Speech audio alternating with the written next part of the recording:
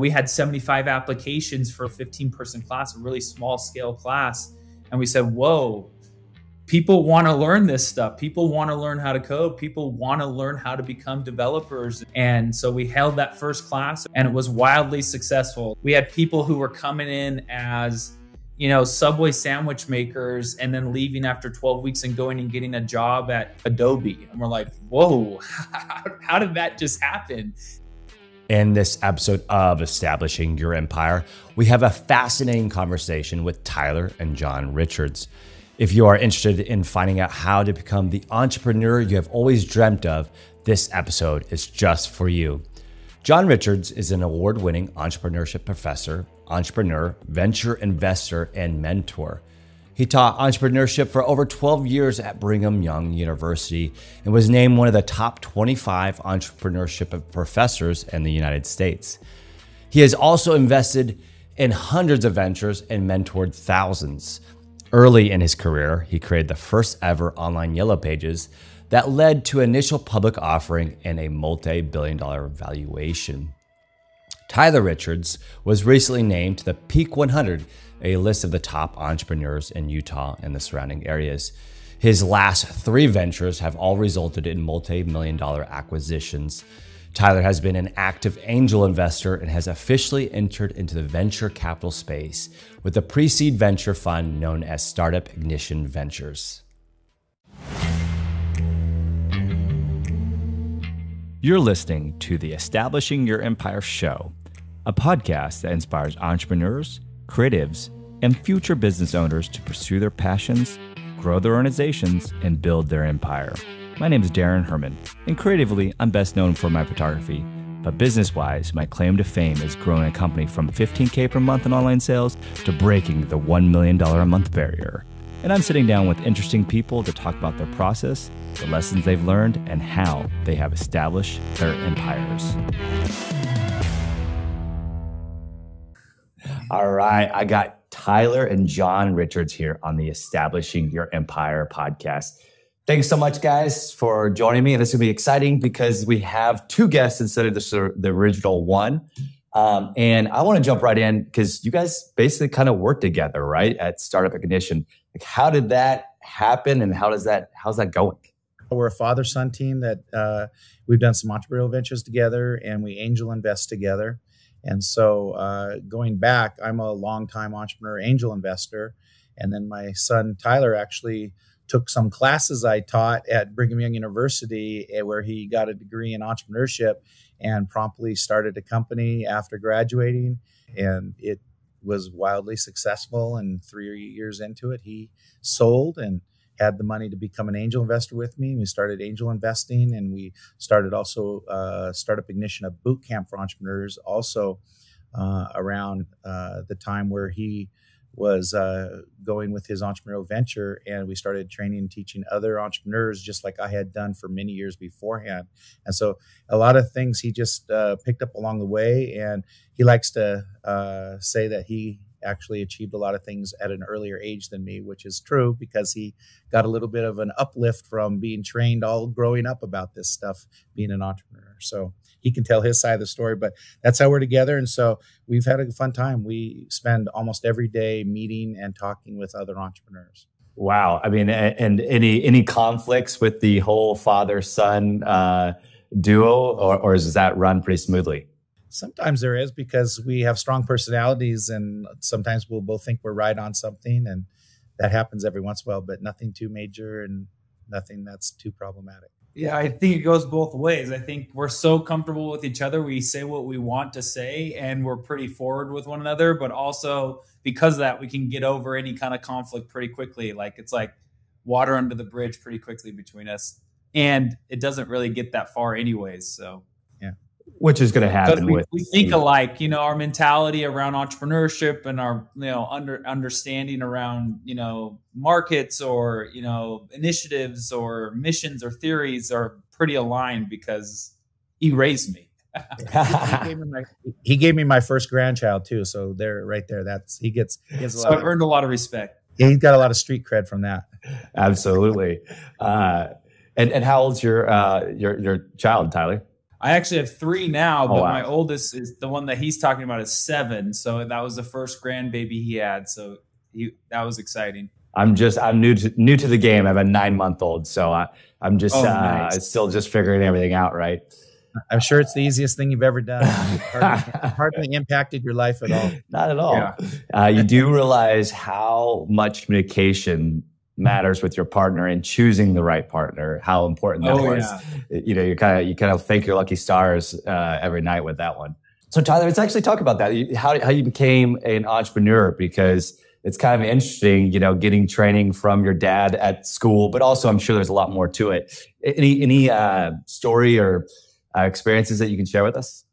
Oh yeah, I mean my my entrepreneurial uh you know training started at a very young age just because you know my my dad started a, a company back when I was you know before I was even born he was running a company. My dad started his his kind of entrepreneurial career in the yellow pages industry. I, I don't know if even your listeners even know what that industry is nowadays you know it's uh, but I remember being six, seven, eight years old and going to his company parties, you know, being around his 80 to 100 employees, you know, understanding what it was like, him leading them and seeing, you know, and respecting him and kind of, you know, just being from like a young age, understanding weird business principles, you know, you, as, as a, you know, a father yourself and me being a father now, you try to teach your kids and lecture them in the home and, you know, try to you know raise them the way that you want them to be taught and you know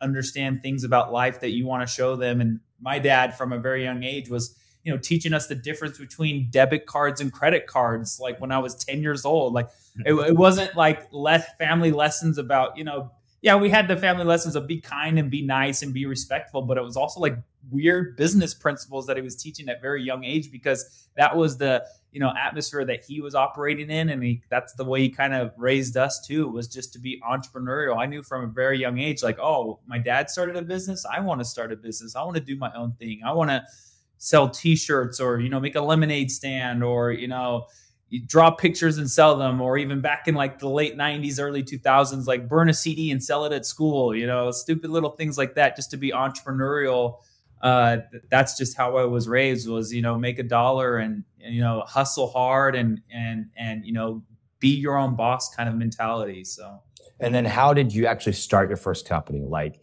walk us through like take us back to when that how that actually happened. Did you go out and find a co-founder? Did you have an idea or or uh, did you just fall into it? How did that happen? you know, I had all this stupid teenage, you know, entrepreneurial quests. You know, I, I was very into art when I was in middle school and high school, and but I quickly realized art really wasn't going to be, you know, a, a very uh, wealth producing industry to be in unless I was like Pablo Picasso or someone like super huge. You know, art, you know, you can't really make it by by being an artist, but you know, I would take my drawings and I would literally ask my dad for uh, you know some seed capital, as you could say, and or even just mow the lawns and get my allowance and save up for a few a few months and go and get my uh, you know my art drawings slapped onto a T-shirt and sell them in local skate shops. You know, I did those little things all the time. I remember one time standing outside of our local college football stadium and selling uh, a T-shirt with uh, the the college university logo on it, which was totally trademark and patent infringement and totally illegal. But I was standing outside the stadium selling them, and I, I remember making like 400 bucks. And I went to my dad, I'm like, I love being an entrepreneur. And he's like, Yeah, that was illegal. You can't you know so i was doing stuff like that all the time just to make a quick buck and like you know experiment. But you know my first true business was not until i was in college you know when we were actually making money and, and had customers and users and um, and that you know being dumb, a dumb college kids my very first uh, startup was actually a dating application. It kind of was the tinder before tinder was um, you know and it was right when ios came out you know the iphone came out 2007 and in 2008 2009 we kind of started playing around with the app store i've always kind of been in technology because my dad after the yellow pages transitioned into a dot com company and so i had always had computers from a really young age again it's super into art playing around on corel draw and flash if you remember those programs oh yeah. you know, I transitioned into the Adobe suite, got into front end development and coding. Uh, and, and, I've just always loved computers because I, I I've been around them since I was six, seven years old. So yeah, and so again in college i kind of gravitated towards that. I saw okay art's really not a thing. That was a high school thing. Now i got to get into something that i can build a career off of. And i, I just kind of transitioned from the art world into the tech world just naturally. Well i think the art background teaches you how to tell a story. And you also it shows you like what's good and what's bad which are yeah. which is huge if you have good taste and you could understand what you know what is good design bad design what looks good what doesn't look good there's still a huge value in that maybe you didn't become an artist per se, but uh, I think those skills transition very well to the business world. Yeah. Uh, um, so let's talk about uh, the yellow pages switching John to, over to the dot com because the yellow page is kind of interesting because people paid for slots for advertising and to sell things, and then the you know internet was a way to sell things, but a lot of people didn't notice that right away. Like, how was that transition, John, and, and any stories that you have there? Well, so I uh, when when my last year of college, one of the biggest things that ever happened in the business world uh, happened where the largest company in the world was broken up by the federal government. AT and T, not the current AT and T we know today, but the original AT and T, Alexander Graham Bell's AT and T, um, was the largest, most powerful company in the world, and it was a, a the United States government determined it was a monopoly and broke it into eight separate companies. And that was as I was leaving school they had five major lines of business most of them regulated you know making a phone equipment had to be regulated. You have to have the right components and all that. You had to be regulated to be offering local dial tone and long distance calls. But one of their uh, ones was not regulated. And in fact uh, they had let the walking fingers logo and the term yellow pages fall into the public domain so they weren't trademarked and so hundreds of independent publishers sprouted up to compete against the now broken up Bell system. And so I was one of those. And so in the Seattle area, I went to my home back to my hometown after college in the Seattle area and started an independent Yellow Pages publishing company.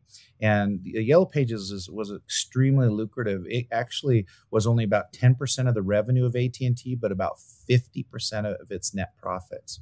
And so um, it, it, was a business that, in and of itself, for AT and T was fifty percent net profits. That business unit, um, and so, so imagine having a business where your net profit is 50%, right?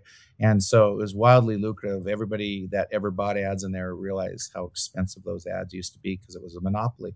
But when it broke up, we were able to offer much lower rates, bring innovation to the product. And so for about 10, 12 years, I ran a print company that was very innovative, bringing color phone books and lots of innovation you know the color printing because before it was just black ink on yellow paper and all of a sudden now we're having four full color ads and it was really good but then in 1994 late 1994 um, an interesting thing happened and uh, a, a kind of a quirky guy walked into my office in Seattle, my print publishing company, and told me that print yellow pages was going to be soon wiped out. And uh, and he said this thing called the internet was going to be the basis of it. And uh, I said, You mean that thing for scientists and for academics? And he goes, No, yeah, but an attorney just commercialized it. He did an ad and he got so much business. Now everybody thinks it's commercial. And uh, especially for databases like Yellow Pages is basically a database of businesses, right? And so um, in January 95, I launched the first ever internet Yellow Pages. And um, before Netscape went public. And so I tinkered with it for a year, year and a half. And in fact, instead of just making it my phone books online, I got 40 other publishers to join me and put their phone books online. But then Netscape went public in 96. And of course, the world's never been the same since when Marc Andreessen had the graphical user interface for port 80 of the internet, changing the world. And, um, and then so we debuted ours and we became one of the leaders in trying to put Yellow Pages on the internet. And then uh, I merged in early 96 with three guys that were at Microsoft working the same thing. Microsoft had been talking to me along with about nine other major, I mean, talking that some of the baby bell companies, all that wanted to acquire me, mer- look at what I was doing. And I, I merged in with three Microsoft guys um, that were only 30 days old in their company. And we merged my Yellow Page, online Yellow Page company, and that became InfoSpace. And two years later, we were public on the NASDAQ and uh, it was a wild ride. Went from four or five people to like fifteen hundred employees and stuff like that. It was a total dot com experience. Yeah, and, and speaking so, with the dot com, did, did the did the dot com bust affect you? I'm sure it did, right? Yes, yes, yes. We we went to dizzying heights in our share price. Uh, we were net. We never had any debt. We were always profitable and had lots of money in the bank.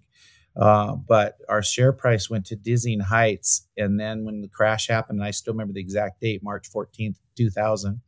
On March 14th, 2000, we started to fall. And by the end of the year, we went from $138.5 a half dollars a share down to $1 a share.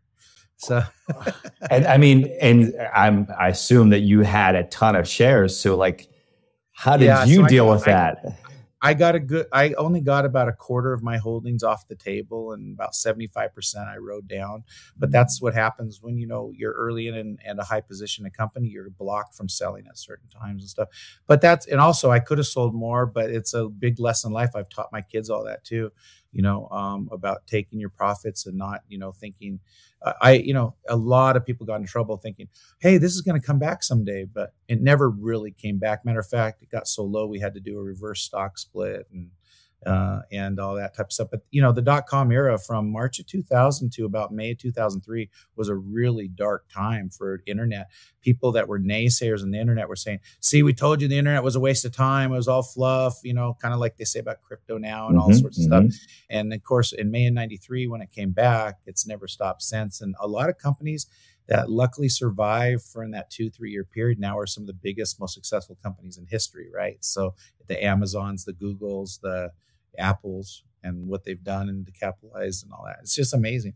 But anyway so uh, that was my birth. I um, left in 2001 the internet yellow pages we started was good and we actually if you go back in the history internet pages were a real dominant leader and all that. But when google really took off obviously, as we all now know, Google's entire search business is the ultimate yellow pages and more, right? And so Google is really the real threat that it was. Google eclipsed everything by probably 2003 to 2005 and anyway i was uh, i became a professor of entrepreneurship at my alma mater in utah brigham young university taught for 12 years and I enjoyed that, and I was a, I became a very active angel investor.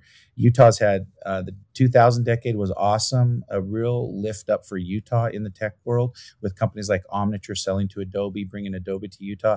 And the last 10 years in Utah, 2010 to 20 to 2020, was like an, a renaissance era for Utah's on fire for the last decade, and we've had so many unicorns and so much happen. It's kind of been fun to be an angel investor during that time. Do you think that there's going to be uh, a further separation or, I guess, additions of areas that have kind of these, you know, uh, a bunch of a startup space, a bunch of fun, venture funding, not just going from the valley, but to yeah, I, I think, all the I place? think Silicon Valley. I think Silicon Valley is its own universe for sure, and in, in in you know they think they're the center of the universe, and they probably are. So there you go.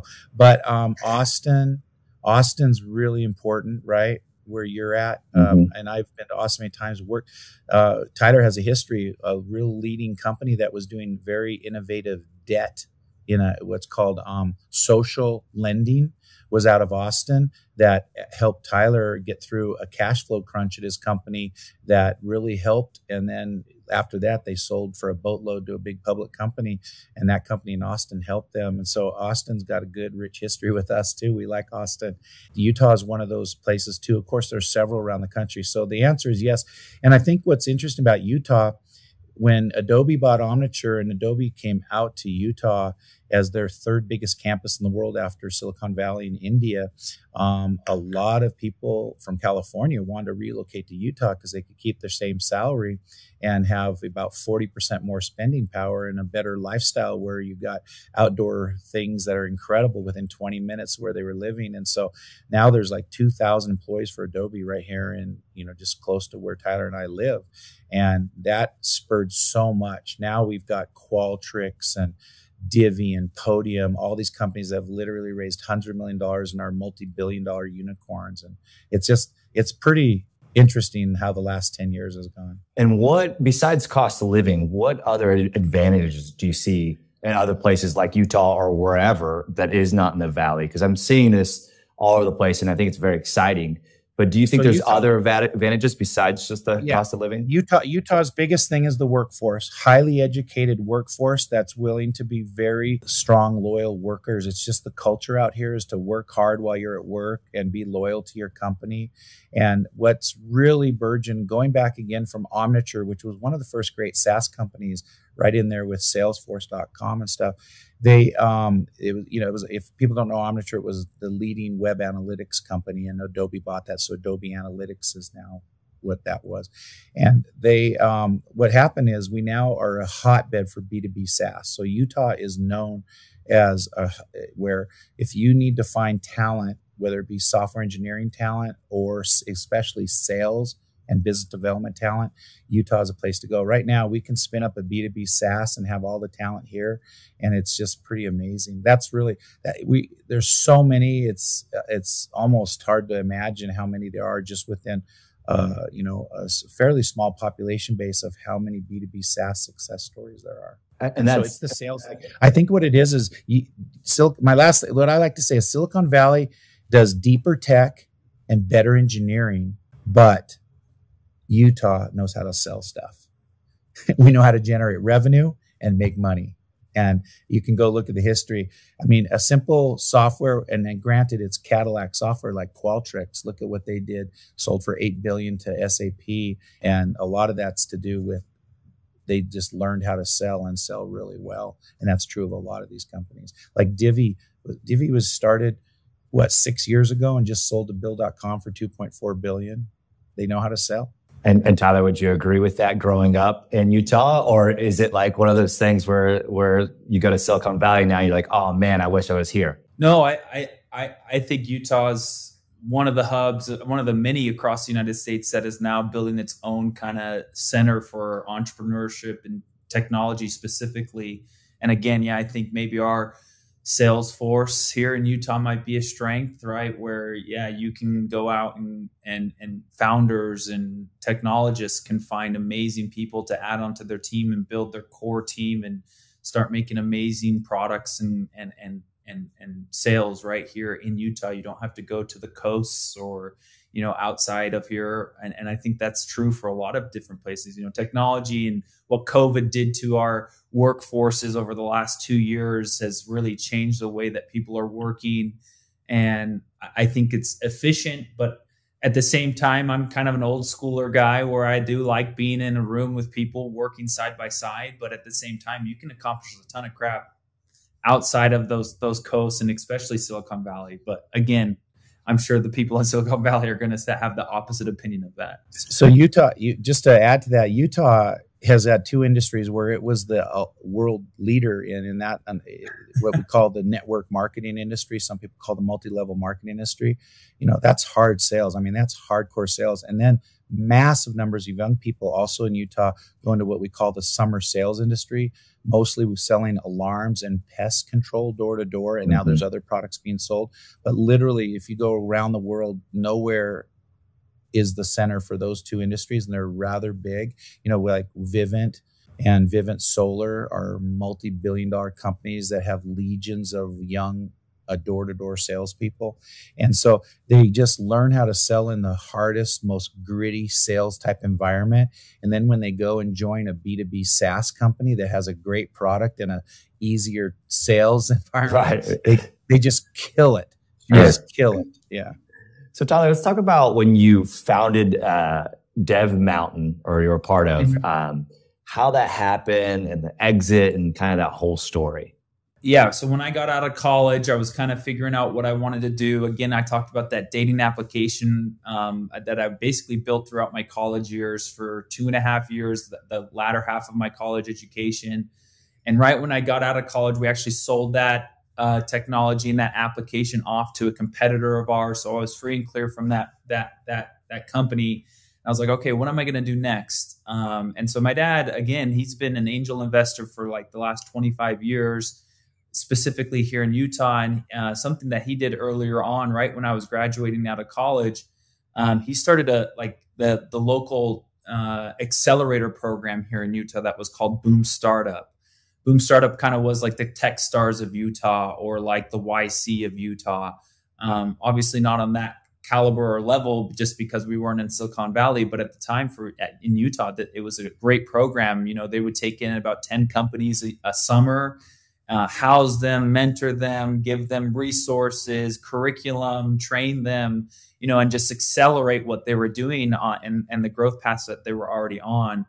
And so that summer um, that I graduated from college, I my dad said, "Hey, why don't you just kind of figure out what you want to do for next steps after selling that that dating application and come be kind of the entrepreneur in house and and and the program manager for Boom Startup for that summer." And I said, "Okay." And so I was around awesome companies and kind of the you know the newest wave and, and generation of entrepreneurs in Utah and founders. Uh, and I saw this huge need every single founder needed a programmer or a developer or a mm-hmm. technologist of some kind. Every single one in that, that accelerator program was just clamoring for tech help. And I was, you know, a bit of a technologist at the time. Again, I could work my way around code and, you know, I, I, programmed some things, especially on the front end of things. And uh, again, just being around computers the whole time, I, I kind of, I could navigate that space pretty well. Um, but there just wasn't enough people in Utah to to feed the beast that all these technology companies needed technologists, and so that that program that summer was housed out of a co-working space, and the co-working space kind of said, "Hey, we, we we need to do some kind of programming to bring more people." So because of my association with Boom Startup being housed out of that co-working space, I also got to know the owners of the co-working space and kind of collaborated with them and they were saying, "Hey, we need to bring more traffic." It was a brand new co-working space, and he said, "Tyler, do you have any ideas of what we could do to bring more traffic and let people know that we're here? Like Boom Startups here, but we want like the general entrepreneurial population know, to know that we're here to come house out of here and take up space and you know be innovative and you know grow the culture and the ecosystem here in Utah in this co-working space and." So we all kind of put our heads around the table and we said, "Hey, what what what about like coding classes? What what what if we taught people technology. So instead of like finding all these companies technologists, like what if we just taught people to be technologists and grew the actual foundational like size of you know technologists in Utah and the co-working space was like that's a great idea. We're going to give you free space. If you just like whip up the classes and uh, you know, I found my co-founder of Dev Mountain, who's who was a, at the time like a ten-year seasoned um, developer, much smart, smarter than I ever was, and he started building the curriculum, and you know, it was just a part-time thing. We said, okay, hey, we're just gonna offer these part-time coding classes like every Tuesday and Thursday from like 7 to 9 p.m. after hours. So if you want to come learn to code for a few weeks, like we'll just teach you how to code and we slapped up a you know a website. We bought the nine dollar domain name, you know, from GoDaddy, and uh, of course we called it Dev Mountain because we're in the mountains of Utah. I don't know, that's where the name came from, and we and literally after a week of just having that website up for applications to come to our mini after hours boot camp. You know, we had 75 applications for like a, a 20 person class or a 15 person class, a really small scale class. And we said, whoa, people want to learn this stuff. People want to learn how to code. People want to learn how to become developers and, and, and program and, you know, write software and, SaaS software specifically. And so we held that first class. It was a 12 week program, Tuesdays and Thursdays for two hours. And it was wildly successful. Like we had people who were coming in as, you know, Subway sandwich makers and then leaving after 12 weeks and going and getting a job at like Adobe. And we're like, whoa, how, how did that just happen? This is actually happening. but what we noticed was, you know, the goal was to kind of feed startups, but we started feeding like the big tech players in town. Yeah. You know, they just came into these cohorts of, of coders and just took the whole the whole class after the program was over and they're just like yeah we'll take all 20 of these guys and i'm like okay so we accomplished what we set out to do and you know it just kind of snowballed from there after that first class we did like 20 people the next class we did like 40 people we did multiple classes at a time. You know, we grew out of just little Provo, Utah. We went to, you know, the surrounding states and we had six or seven locations in like a few years. And, you know, we were pumping out a ton, a ton of developers. Um, but what was so cool was that the actual product worked, right? It, it actually, the model worked where anybody and everybody could come in and learn these skills. They don't have to go to like a four year degree program, go through all these generals and required classes to finally get to like the 400 level classes and actually obtain these skills. The boot camp model was working in that anybody could come. It was super accessible and you could really get hands on a keyboard, learn these skills, and then be really, really marketable in the marketplace. And those kind of jobs, everybody was looking for those kind of people. So, and, and they still are, yeah yeah, let me tell you an anecdotal story just around what Tyler's talking about. So I, I helped advise in that company, and they Tyler is going to be humble about it, but he and his co-founders just killed it on execution at the perfect timing for coding schools uh, like this and there were several around the country that got going, but they just killed it and became one of the best run ones and fastest growing. But what was interesting, like their second or third cohort, they would do a demo day in the early days where at the end of the 12 weeks, they would have all of them in one room and show off what they had coded during the yeah, kind of like a hiring day at the end of the program. And so I went, uh, I went one time and there was this young woman who's there and I, and I walked up and I said, so sh- show me what you got. What you did. And I, and then said, how did you get here? Why are you here? What are you doing? And I just want to know the story. She goes, well, I got my degree in economics, couldn't get a job. I had tried for almost a year and I was about to go home and live in my parents' basement in Minnesota and take a waitressing job. And I go, what? And then she goes, I saw a billboard or heard about this and I signed up for this. Thought this might be interesting. And I go, okay, so what happened? She goes, she goes, well, about six weeks into this 12 weeks, I got three job offers. They would get job offers before the 12 weeks was over. Wow. And I go, what? I go, what? And she goes, yeah, one job offer. She was going to get a waitress job for like $24,000 Minnesota. No joke. And she goes, I uh, got a job offer, one for uh, 75,000, one for 65,000, one for 55,000. I go, so what'd you take?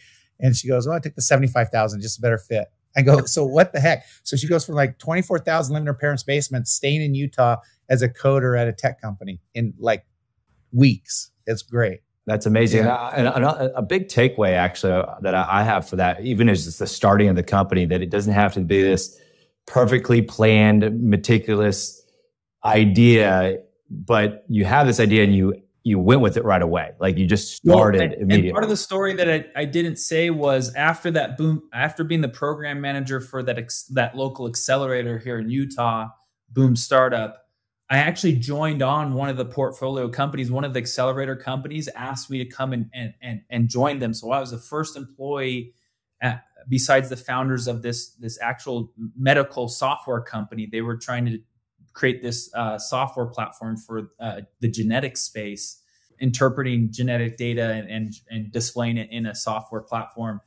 And so I took a job with them actually. And so during the course of the summer programs, then you know even like six months into that job, finally is when kind of the Dev Mountain idea came along and started flourishing and so again it was a very very part-time thing like hey yeah i'll just help kind of do this and you know set up the curriculum and kind of get people in you know butts and seats and you know draw some more attention to that co-working space. And by no means was this ever like hey this is the idea. Let's sit down and like articulate this and like hey who's the founders? And like hey this, this some grandiose plan. It was just more like hey let's kind of do this. Oh we're experiencing traction. Okay let's dedicate more time to this. Oh we're getting more traction while I was over at a full time other startup gig and job, but uh, eventually I had to let that go because Dev Mountain becomes such a, a big thing that I, I had to focus all my time and efforts because I, I believe part time entrepreneurship is never successful. So I left that other company, went heads down and focused on Dev Mountain, and it, and it became what it was today. To where eventually, after three years, we actually were acquired by a, a large education company. So your, it, your listeners might like this story. So Tyler had to make a big decision there to leave a job that he was actually getting a salary for and go be a founder, right? That's a yeah. big decision to do. And um, my son, I have a son in law who faced that same type of decision and made the decision to take half the salary to join a startup, taking a 50% salary cut.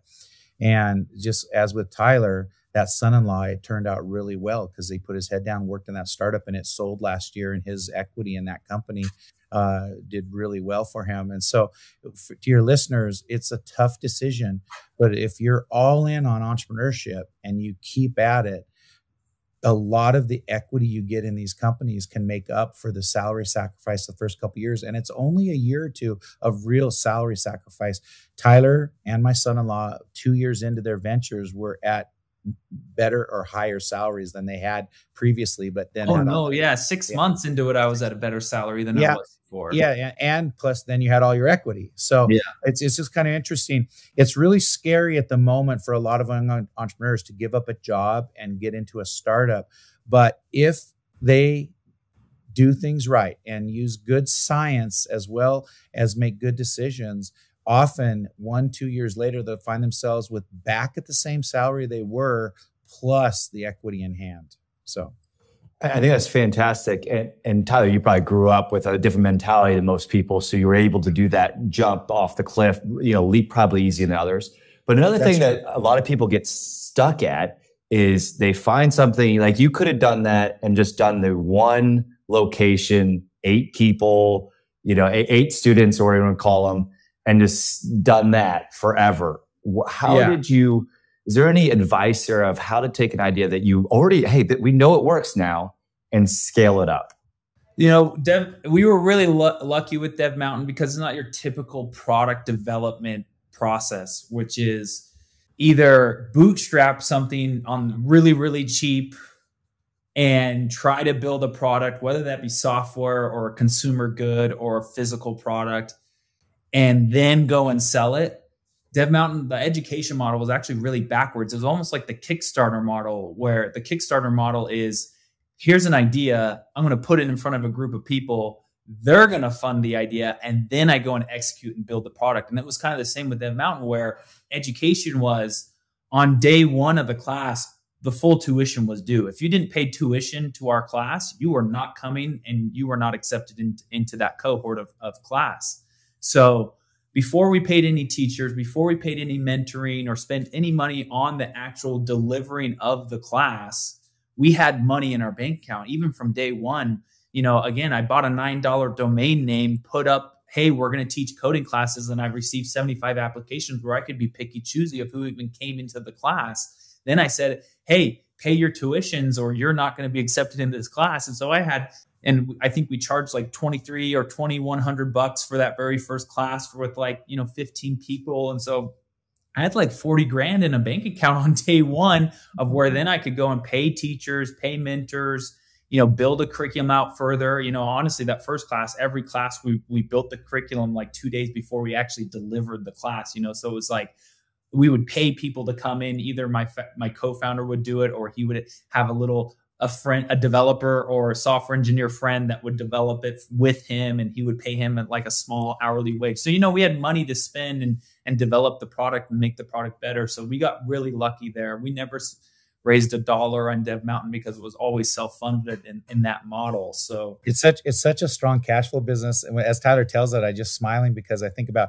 fast forward like 18, 24 months. And at one point in just their Provo location, they had like five or six concurrent classes with over 30 students, and tuition went now up to about 11,500 per student. Wow. Yeah. And, and, and, and I remember Tyler one day, this is the fun things about entrepreneurship.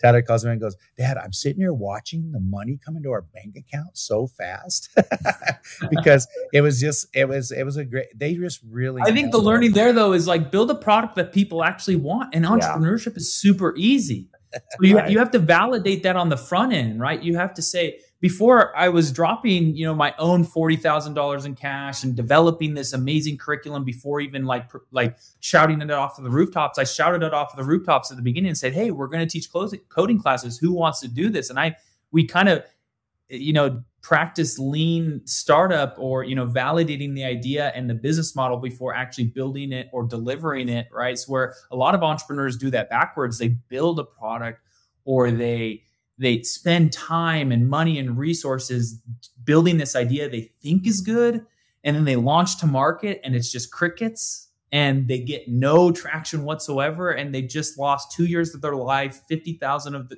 dollars of their savings and you know precious precious time you know and so you got to validate things on the front end rather than valid trying to validate on the back end does that make sense so I yeah, think that's and really what, what are some ways to validate your idea? So there's a lot of people that love they want to create a startup. You know, being an entrepreneur is it's cool nowadays. And they have these ideas, and uh, you know, I'm a big fan of validating your idea as well. But what what are some ways to do that? What is some advice there? Talking to your your target market right away. You know, if I have an idea to to sell bananas on a street corner, before I build the banana stand and invest in banana inventory, ship them from, you know, Mexico and get them up to Provo, Utah and want to sell them on Center Street in Provo, Utah, go talk to people on Center Street. Say, hey, if I started a banana stand, would you buy bananas from me? And if I can talk to 100 people that say, yeah, I come here every day, I'd buy a banana from you every day. If you had a banana stand right here, I'd be like, okay, then it's probably a pretty good idea to start a banana stand on Center Street in Provo. You know what I mean? Like, talk to the people you think you can sell to and validate that they will actually buy what you're going to make or produce or or, or sell it's really it's it's free actually you just have it's just time you just have to go spend your time talking to people but it's free you spend no no money whatsoever and i think a lot of people don't don't understand that and what about the person that might say okay that's easy for you. you you know you're very outgoing and you've done all these things before you know maybe they're more of an engineer what advice would you have for that person that's probably going to be a little better. nervous?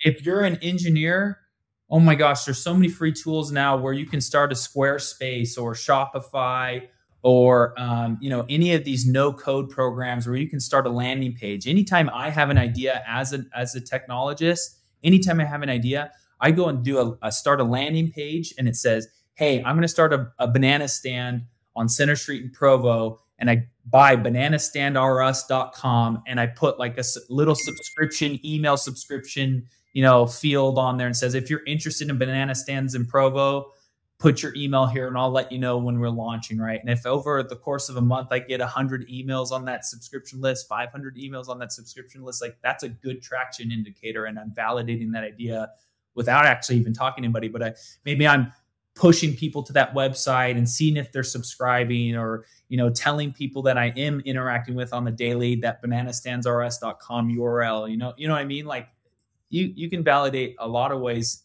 go and slap that on reddit. Go and slap that on quora. Hey guys you know i'm going to start a business. Anybody local to the provo area utah like here's my url go check it out. Let me know if you're interested. If you are subscribe to my newsletter and i'll let you know on updates of when we're launching you know stuff like that. So, Daran, just to add to that too, and to an engineer, the, the great news is the the movement over the last 13 to 15 years in lean startup you know ever since steve blank uh, and others in the leadership of that movement have put out their products uh, it's a codified system now uh, that, that engineer can literally buy a $30 book they can go to a startup boot camp like our startup ignition and they can get trained step by step on a codified system for validating your ideas and then hypothesizing a business model and validating your business model hypothesis. It's not magic, it's not an art as much as it is a science, and using the scientific method to validate your hypotheses and the experiments that you would conduct are going and talking to customers, building a very light version of the product, an MVP. You know all of this, and it, what's fantastic today is my I back tested my entire career with lean startup process and it explained all my successes and failures when it was introduced to me in the late 2000s and I go wow so in the past, I actually stumbled on success by following lean startup without knowing what it was. Like, for instance, my biggest success of all time is because I was inside the industry and was able to go talk to hundreds of my target partners and customers. And I launched based on what they said they wanted and would do. Now, the times I've failed, and I have failed many times, is when I thought I was smart and knew what I, and everybody would think just like me and want it just like me. And so I built the product and launched. And then, as Tyler said, crickets. And so that engineer needs to know there's so many resources now for helping him understand a codified system. Like even if I just run a person one time and say, go get the Startup Owner's Manual by Steve Blank, that book, read it. It's an encyclopedic how to manual and just follow that. And people will write me back six months later and go, John, where was this book? I needed this book 20 years ago. I would have saved so much time and money in my life. And it's just so you can do that. And then if you find a mentor that knows how to mentor you on that, it is it gets turned up to even higher levels. So the I, I actually got started in education in entrepreneurship, became an academic, not a real true academic. I'm not a PhD, but a in teacher at a university in entrepreneurship, and then doing our own boot camp specifically for engineers.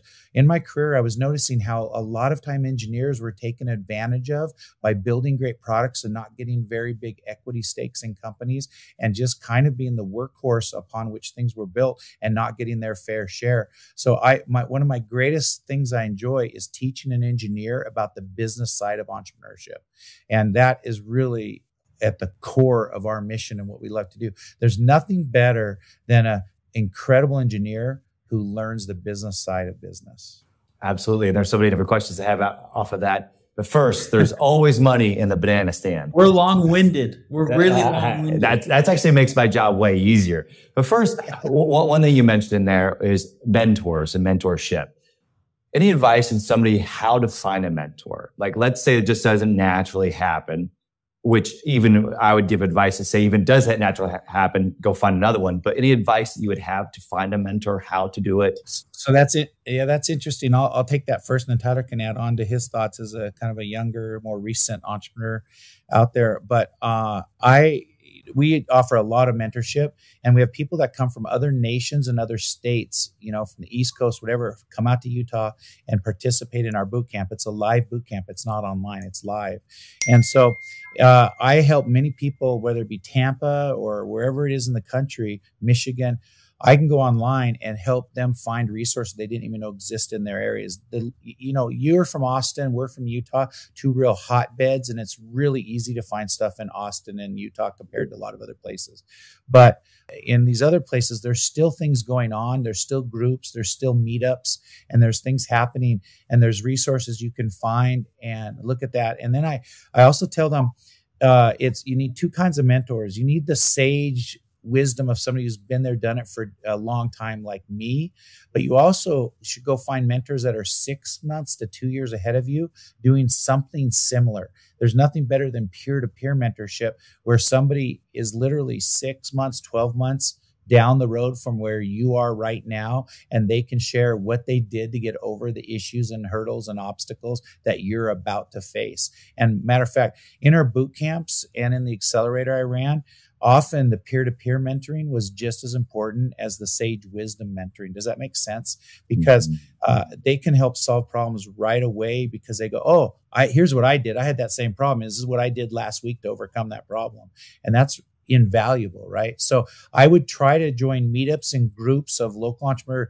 In almost every major city in america there's going to be meetups of entrepreneurs getting together and i would start there I completely agree. There's um, there's also something powerful being around those type of people because it makes what you're going to do less intimidating because they're doing it and they're all doing it. And it's like well why can't i do it? Especially the more you get around there. And also entrepreneurs yeah. they go to these events. They're they're looking for people to talk to. They're looking to pitch their idea to you. I mean yeah so two, two like, things there. Exactly what you're saying.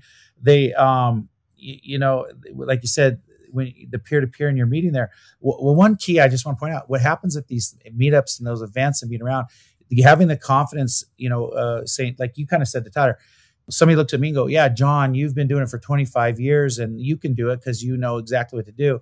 But when you see somebody who's only six months ahead of you doing it, it is inspiring. And then the other thing that happens a lot in our boot camp and at these meetups is often you've got a piece of the puzzle. Somebody else there has the other piece of the puzzle, and you come together. Some of our best companies that have emerged from our boot camp are when two people come to the boot camp one has a stronger idea. This idea needs to be abandoned, but they're a talented individual now being trained and understanding what to do. They come together and merge.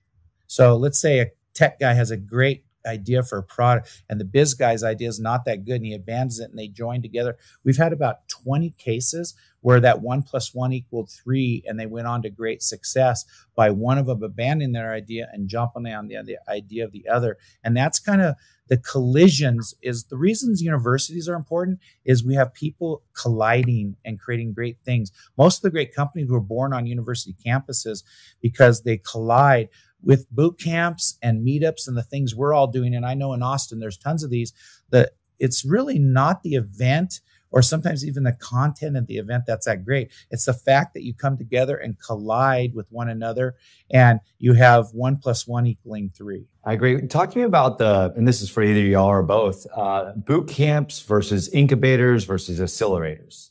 Okay, I'll start and then Tyler can give his thoughts on that just because I've been around. So accelerators were really hot, hot, hot from the day Y Combinator and Techstars started around 2006, 2007. And we started one here in Utah and uh, Brad Feld and David Cohen of Techstars gave me their playbook, and we just emulated Techstars because they were in Boulder, a college town, and we're in Provo, uh, a big college town. We have two universities within 10 minutes of each other with over 30,000 students in each university.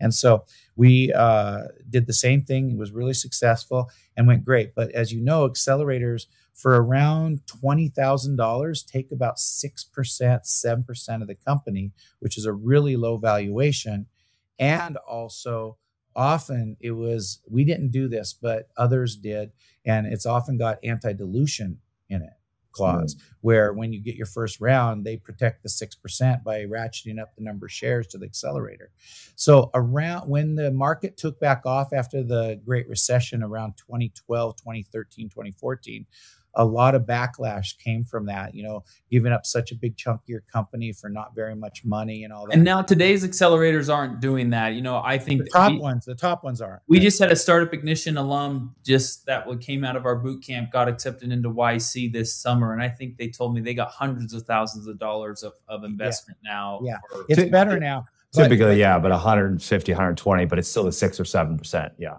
Yeah, 150k. Yeah. You know, but yeah. yeah. that's better than in 2010 when you were giving yeah 20k for six or seven. So, so there was a little backlash. So I actually sold my half of Boom Start to my co-founder of Boom Startup, and we moved on. I moved on from the accelerator world, and then got into what Startup Ignition is. is I call that more of a pre-accelerator, and that's where we only charge tuition.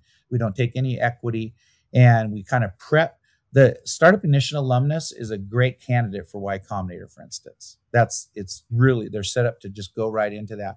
And that's where we flourish and what we do really well. So the difference of, of a venture studio or any kind of program that is tuition only or trading maybe services for equity uh, and all that um, versus the cash for equity of a pure seed accelerator is that i think just I think the entrepreneurs are so much more savvy now that they're realizing they don't need to give up too much equity for low value being produced. And I and one other thought, I can be honest with you, after Y Combinator and Techstars, and you go pretty far down on the list of the hundreds and hundreds of accelerators that exist, they're not that great. I mean, they don't deliver. If you get into Y Combinator and Techstars Boulder, you're going to have a good outcome probably. But once you go down the list very far, and uh, what I tell entrepreneurs, and this will be my last long winded, as Tyler says, answer on this topic, is that I tell an entrepreneur, they say, Oh, we got accepted into this accelerator and this accelerator. I said, Go call up three of the last cohorts CEOs and ask them if they would do that accelerator again. That'll tell you everything. And that's the best thing anybody that's thinking about going to accelerator or has been accepted into accelerator and doesn't know if they should do it they should go find out who the 10 or 12 companies were in that cohort whatever the number was.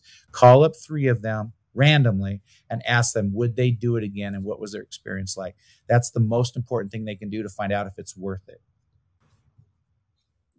Uh, tyler yeah any other uh, additions well, I, I, maybe just a little bit of background on what we do so yeah my dad and i do work together now in a boot camp called startup ignition which is an entrepreneurial startup boot camp kind of teaching what to do and what not to do in the first six months to 24 months of starting your business. We feel like we've started enough and have enough experience now that we can help other entrepreneurs kind of accelerate that process and and mentor them to to find a really good working business model. And that that birthed out of my experience with Dev Mountain, which was the same thing we were doing with technology and development and software engineering and software building. Instead of teaching tech, um, my dad had some students at his at his university come up to him and say, "Hey, what, what why don't you teach this kind of stuff in a boot camp like model like what your son's doing with Dev Mountain?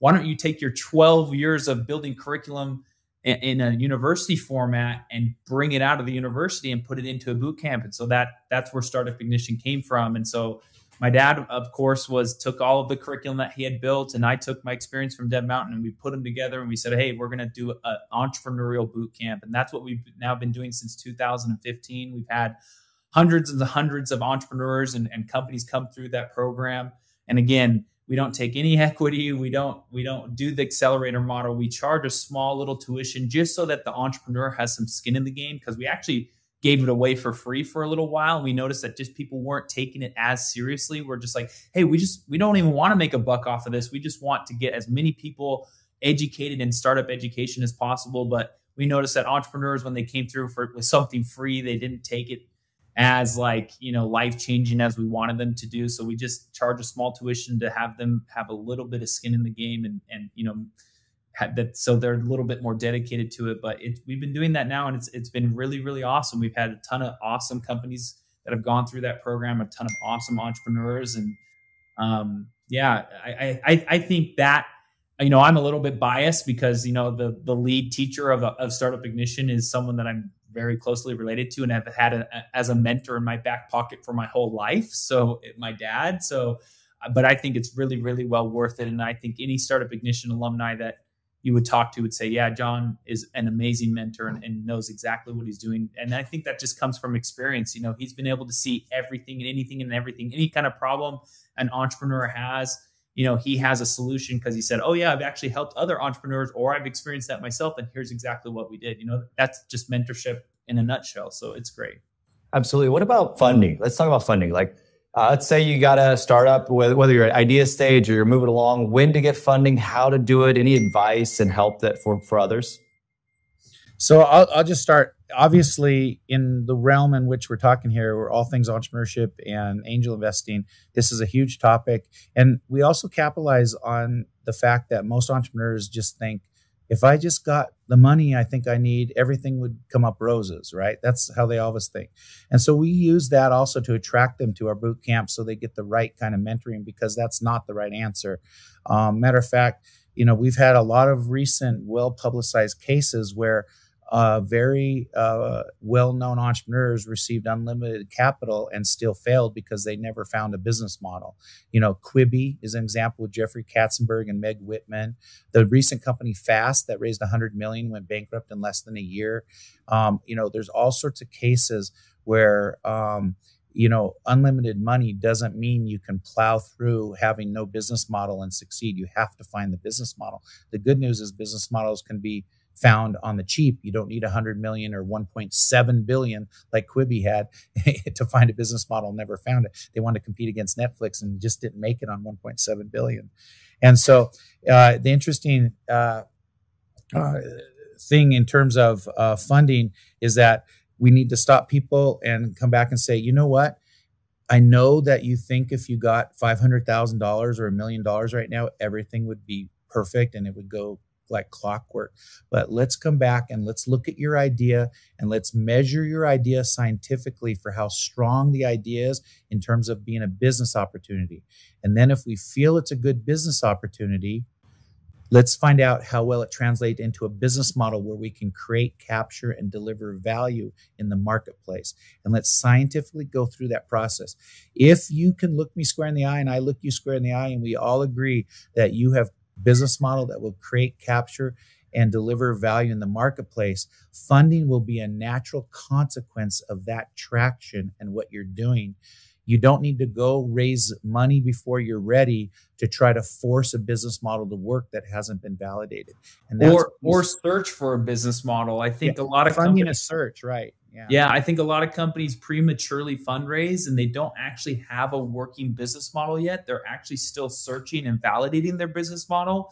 And I think a lot of capital is squandered in the VC world trying to fund the task of of of getting a business model. Yeah. But I think when a company and a founder can literally say, yes, we have a business model, model, which means, yeah, you validated the idea with the customers and the target segment and your target customers, and you have maybe uh, you, you've talked to I don't know a hundred of your prospective clients, and eighty or seventy or ninety percent of them said yes. If you build that, we will buy it kind of mentality. Then I'd say okay, then you have some the beginning of a working business model that sure now you need to fund it because you need to build product you have customers saying they're going to buy it but now you just need to build it kind of thing but yeah, a lot we, of I, I just say we have a lot of cases.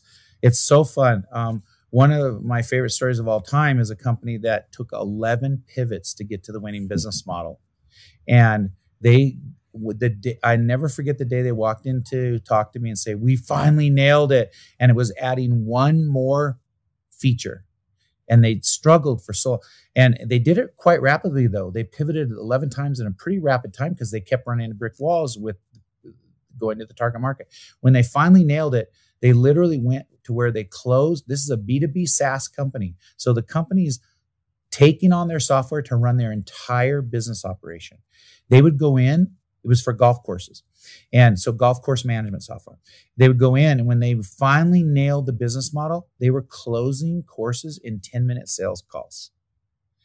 And it was that's the what happens. And they hadn't they and that company raised very little money and had a massive exit last year. This is no joke. The employees and the founders exited in around 100 million last year and had still over 90% of the company for themselves. That's amazing.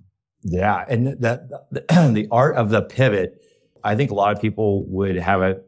They get really stuck to their, their idea and their original thought process. What's some advice on how to pivot, or even to know that you should pivot? When you're out talking to the customers, you've got to, you know, Steve Blank likes to say, you know you've nailed your model when it's still all systems go and you're not learning anything new by talking to your customers.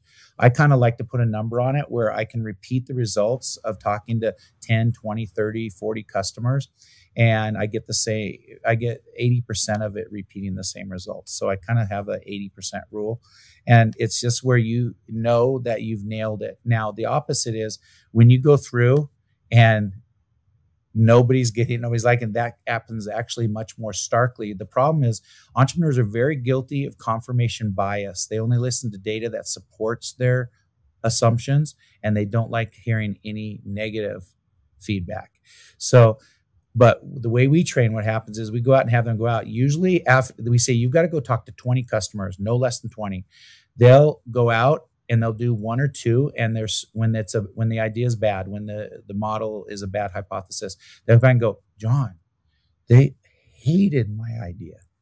I thought they'd love it. I cannot believe they actually hate it and thought it was the stupidest thing they'd ever heard. Now i some entrepreneurs they will if they weren't trained to really accept the data and be open-minded, they might say, okay, they were just idiots because that's a common. Those those two were just idiots. I'm sure it's good. I'm not going to go talk anymore. I don't like to talk to people have them tell me my baby's ugly. So I'm just going to build a product and see if they'll buy it. That's when you fall into the trap of premature scaling and squandering money, like Tyler talked about. But it's so funny. It doesn't take long before when you're talking to customers when you realize you're really off track. Because if you do it right and let them respond, openly and honestly, they'll tell you how. And and, and honestly, in our boot camp, a lot of attendees that come through our program, that's the outcome that they have. They come in really starry eyed. They're you know they're maybe they're working at a local tech company here, but they know they want to be entrepreneurial. They've had this idea in their head for the last two or three years. They're finally going to take a step and executing towards it. They come to our boot camp, learn about lean startup and validating their idea. So they go out and validate it and in a week's time they find out wow my idea actually really sucks and no one wants this. And but that's a great outcome because they save time money and effort in invalidating a business model so that they can move to the next one. You know entrepreneurs need to fail fail fail fail fail fail fail fail fail fast and then finally get onto a, a successful business model. The more time you spend on, on a failed business model the more you know time's our most precious commodity and we're only getting older. So the earlier you can fail on something and find out hey this is not going to work or i need to pivot or i need to abandon completely that's a great outcome you know? Daran i don't know if you know the stat but the average successful business model that's achieved takes two and a half major pivots to get there. Oh, wow. the chance that your first hypothesis for a business model and uh, again a business model is all the parts and pieces of how you create value that is enough for your customers to part with their money and it's enough for you to deliver it profitably okay? So the uh, it takes two and a half pivots to get there. So the chance that your first hypothesis is the winner is extremely low. Matter of fact again the a lot of the gurus in the lean startup world put it about 1 in 200 chance or 0.5% chance your first guess is right.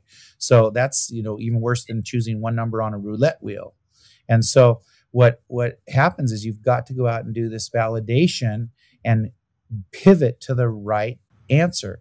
That's and, kind of a funny thought. So if an entrepreneur sitting behind their desk and thinking about an idea, the chance that that idea will actually ever make it to market or make any money at all or be as successful at all is one out of 200.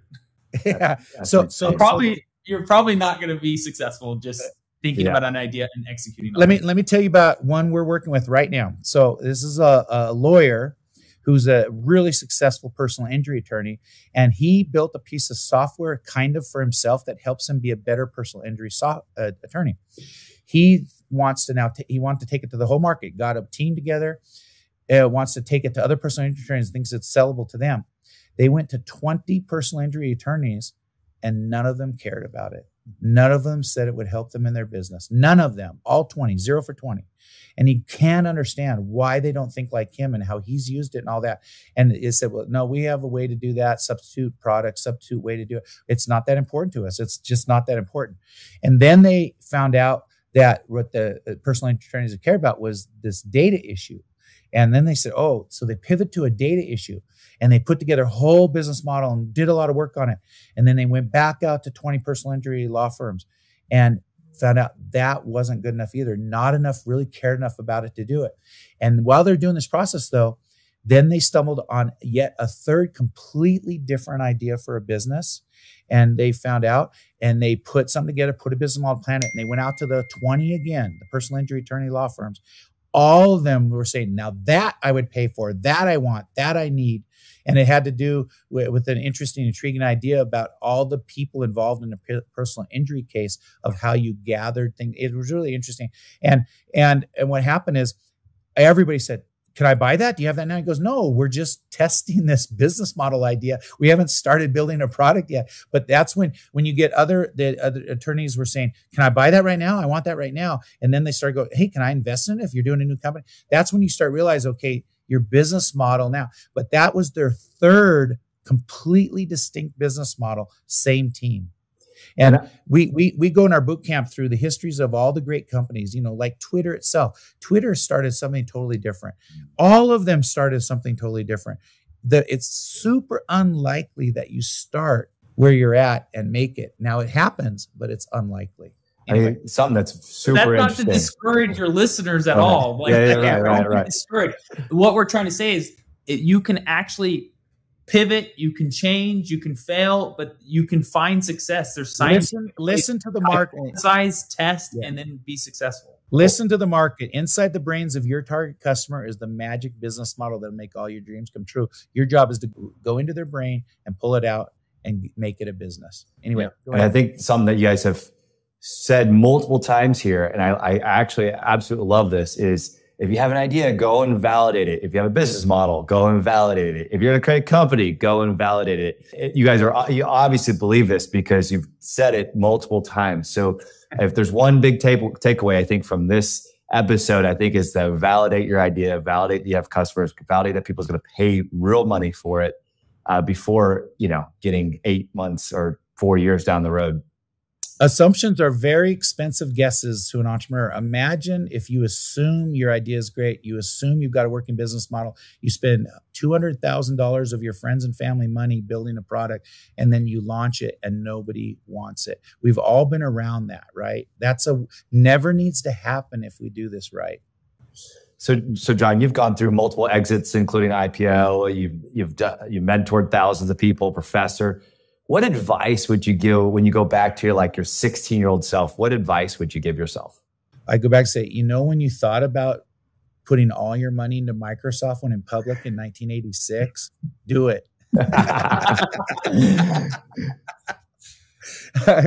uh, besides that, you know, that if I could time travel, right? But um, ignoring that type of thing, um, I would give the advice and say, um, have confidence in yourself all the people you're dealing with they put on one pair of pants at a time. Don't be too intimidated and overwhelmed uh, and thinking that they're special and that they're more capable than you. That in reality if you put in your time and you learn something you're every bit as smart and capable as other people. And i try to imbue that now in the young people i teach. I tell them all the people i've seen become multimillionaires through entrepreneurship and there's been so many and so successful, change the world with great products and service that really bless and help the lives of people. They're no different than you. The only thing they did is they went and did it. They didn't chicken out. They didn't um, let their um, lack of confidence stop them. They let their ambition be stronger than their doubts. And just know that you're every bit as capable as any of these other folks and stay with something. And also, I, and I've learned this and I'm pretty good at it, but stay with your things long enough to let them come to fruition. Let the business model pivot and evolve. Don't give up on things too early. I, that's actually the reason I'm sitting here today and successful. There's been many times in my life where a lot of other people said to give up, it's not working. And I just pivoted until it worked. And I did that naturally without being trained in it like we are today. And that's really important because I, I personally believe any person that takes at least three strong runs at entrepreneurship with a good mentor and with understanding the codified lean startup system will find success. And Tyler, you know, you've done a ton of stuff, uh, entrepreneur, been around a, a, ton of startups. What's like five years from now look for, for, for you? You know, what do you got? What do you got planned on the horizon? So that's actually something that we have launching really soon here and is actually kind of an extension of what I'm doing with my dad. So over the last 6 years ever since I had an exit in 2016, I've been doing, you know, I've been angel investing and I I, I like helping other entrepreneurs finding awesome business models and you know investing if it makes financial sense and so that's what i've been doing and dedicating most of my time to um, but just recently uh, my dad and I, you know, we've become kind of this father son angel investing duo. And um, we've had a ton of wins especially over the, the covid era with all the money that's been printing a ton of m&a and activity over 2020 2021 um, it's been a great a, a, few years for us from an angel investing perspective. But what we've noticed is also we, we see a, a ton of early stage deals and uh, amazing opportunities. And you know we're, we're restricted by our own personal capital um, and so actually now what we're doing and what we have done is, is about mid this month, we're actually launching a venture fund um, that will be Startup Ignition Ventures.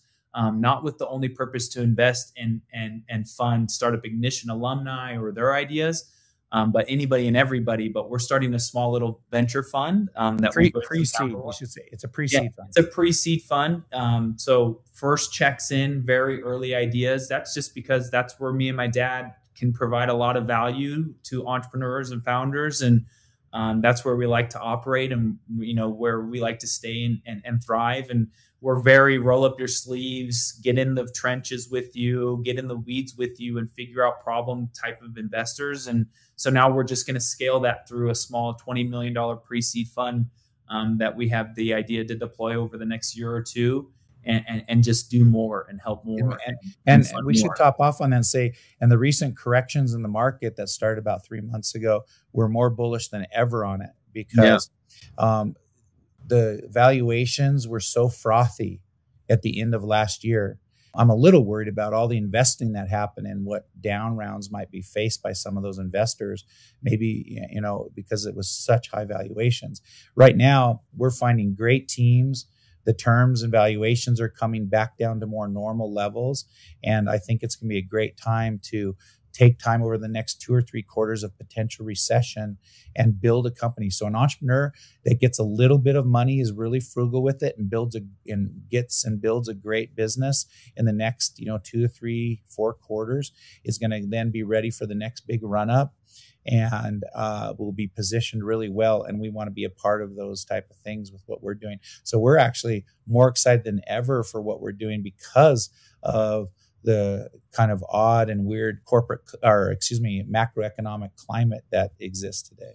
And as my takeaway my main takeaway that i hear from that as a founder or builder is that there's still money out there. So if you have an idea and you're worried about everything's happening there's still a ton of money out there for for for, for people to fund especially, your idea. I don't know if you know, especially pre-seed and early seed.